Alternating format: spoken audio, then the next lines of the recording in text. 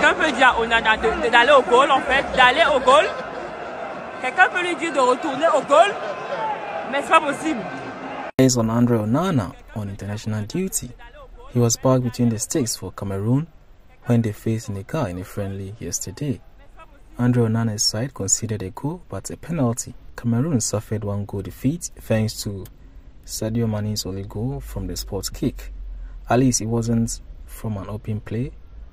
Onana made no mistake when he faced Senegal. Manchester United coaches are putting things in place to ensure that the goalkeeper gets the confidence expected of him as a Manchester United goalkeeper. Many believe that it's in the early days and Onana will surely turn things around at the headquarters.